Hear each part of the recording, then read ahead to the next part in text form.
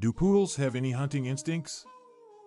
When you think of a poodle, the first image that may come to mind is that of a fancy, pampered show dog.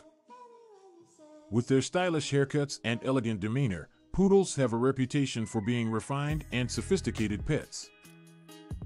However, behind their distinguished appearance lies a breed that possesses a rich history as a skilled and versatile hunting dog.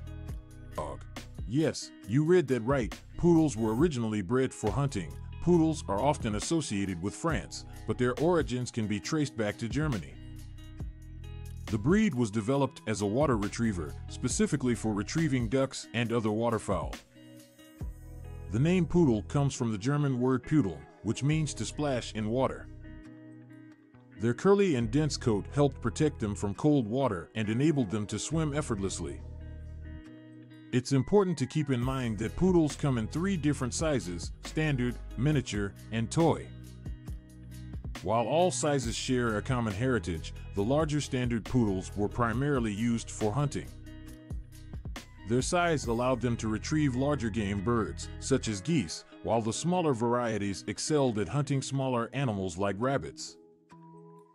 Poodles possess several characteristics that make them well suited for hunting. Their exceptional intelligence and trainability make them quick learners and excellent problem solvers. This allowed them to adapt to a variety of hunting tasks, making them versatile companions for hunters. Poodles are also known for their agility and endurance, which were crucial traits for successfully chasing and retrieving game in various terrains. Another interesting feature of poodles is their keen sense of smell. Although not as specialized as some other hunting breeds like hounds, poodles have a good nose that enables them to track scents and locate hidden game. This ability, combined with their intelligence, made them valuable assets to hunters. While poodles were primarily bred for waterfowl hunting, their skills extended beyond the water. They were also adept at flushing and retrieving upland game birds. In addition, poodles were used for truffle hunting due to their acute sense of smell. Their natural instincts were honed and refined through selective breeding, allowing them to excel in various hunting tasks.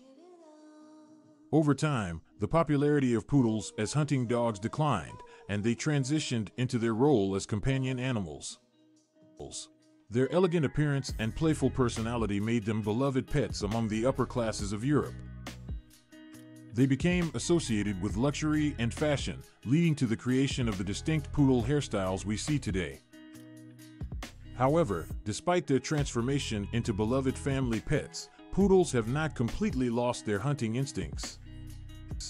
Even though most poodles are no longer actively used for hunting, their ancestral skills may still manifest themselves in certain situations.